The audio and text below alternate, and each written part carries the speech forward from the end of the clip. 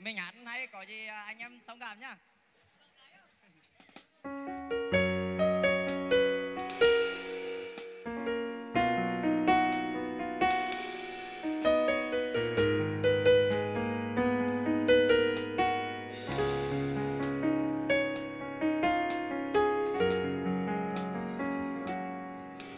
Qua đêm nay hai ta sẽ chung sống suốt